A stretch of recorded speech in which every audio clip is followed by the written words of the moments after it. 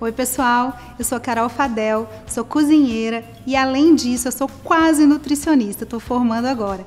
E por isso, a minha dica para vocês é aproveitar integralmente os alimentos. Tudo que eu descasco na minha casa: cebola, alho, pimentão, aquela bundinha que a gente costuma jogar fora, até com o meiozinho, é, talo de todos os tipos de tempero tudo isso eu não jogo fora. Eu vou juntando isso e congelando. Eu coloco no meu freezer e quando eu tenho um volume maior, que eu sei que dá para fazer um caldo, um fundo, é exatamente isso que eu faço. Eu levo todos esses talos, folhas, é, cascas para a panela e faço um belo de um fundo de legumes, aproveitando tudo que o alimento pode me oferecer, porque 35% dos minerais e vitaminas estão nas cascas, sementes e talos. Então por que, que a gente vai jogar fora?